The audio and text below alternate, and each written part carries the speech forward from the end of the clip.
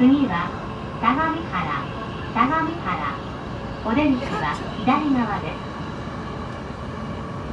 The next station is Sagamihara, JH27.